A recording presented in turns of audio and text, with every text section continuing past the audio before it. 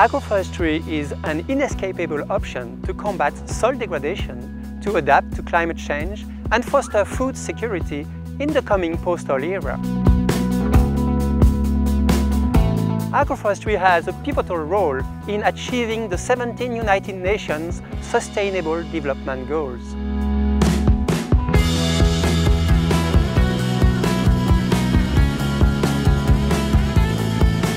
The Congress has been designed to bridge the gap between science, society and policy. There will be world-class keynote speakers addressing major questions linked to agroforestry, such as climate change, food security and poverty alleviation.